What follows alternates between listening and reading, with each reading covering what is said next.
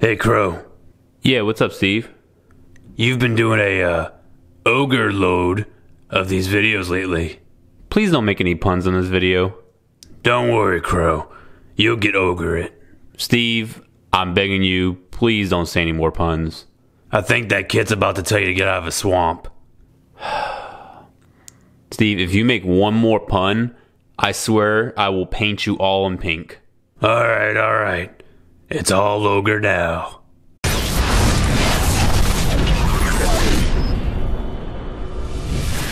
Hello YouTube, KrowSama, and here we have today is a pose video of the high grade Ogre GN-X. Um, I really, really enjoyed this kit in the review. Um, I thought it was fantastic, so I definitely want to go ahead and showcase uh, at least a few more poses than what I've done in the review, and just kind of like show you what the range of uh, you know posability is with this kit. Um, so, like always, we're going to do three poses and uh, just go ahead and showcase what it can do. So, without further ado, let's go ahead and get into the first pose.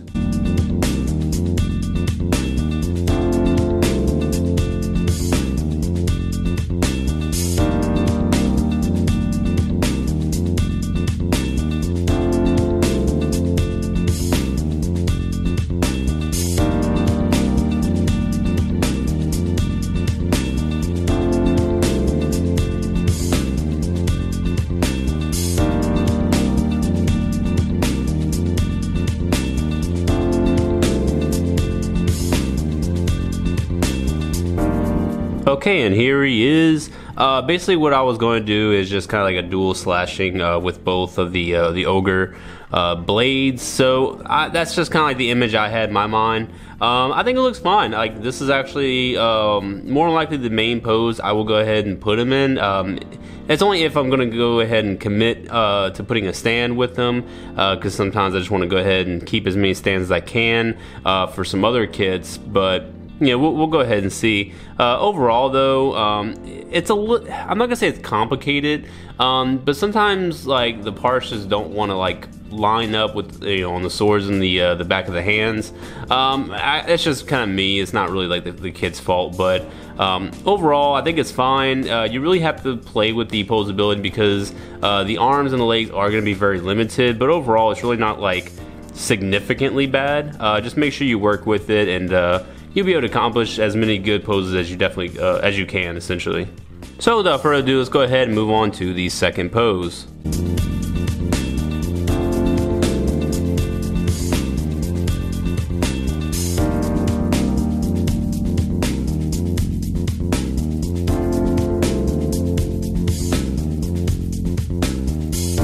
Okay, and here is the second pose. So the way I kind of had this imagined is that he just like I don't know, sprinted from the ground and just kind of like started destroying things uh, with the twin blades, uh, almost ninja-like, in fact. Um, so that was kind of like the motive behind, you know, really getting the pose such as this.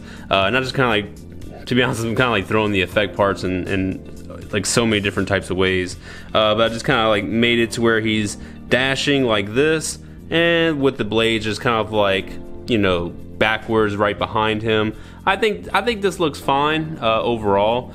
Um, just let me know what y'all think. Uh, obviously, if you're not gonna have all these effect parts, uh, maybe this wouldn't be the to go, uh, the, you know, the go-to pose uh, for you. But I like it. You know, even though he's a very very uh, hefty boy, um, he's still. I don't know. He has like ninja kind of qualities almost. Um, I don't know. That's just kind of like the way I thought of them. So that's kind of like the pose that I, I, went ahead and just went with as far as the second one. So uh, let me know if y'all do like it or if y'all didn't. Uh, definitely let me know in the comments below as well. So we do have one more, and let's go ahead and get into the third and final pose.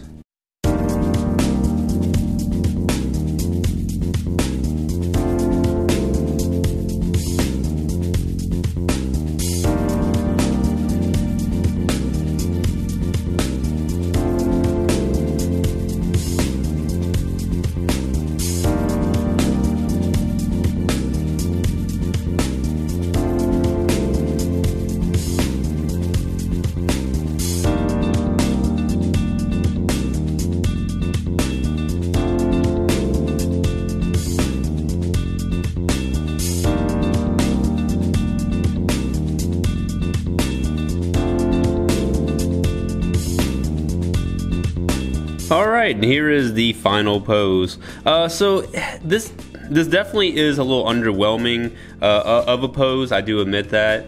Um, but I just uh, in the in the review video, I already had it kind of like charging up with all the uh, the little beam spikes kind of just coming, you know, with the um, through the shoulders, through the wrists. So I was like, let me try and see if I can do maybe like a charge shot, uh, you know, with the um, the spike fist.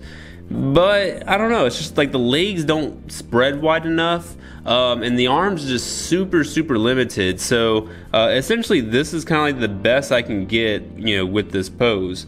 Um, still, overall, I don't think it's like terrible by any means, but uh, you could definitely do better with like maybe the uh, the shoulder ram or. Um, you know maybe just a different type of pose maybe just using the uh, the, the ogre blades uh, with the hands alongside the uh, the beam spikes. So it's kind of like up to you but I just went ahead and went with this because I, I was gonna have him kind of like you know about to throw a right fist uh, with those little beam spikes.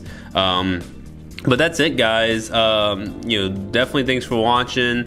Uh, definitely rate comment subscribe especially if you enjoy these type of videos. Uh, but let's see do we have enough time for maybe a, a bonus pose no, God! No, God, please, no! No! No! No!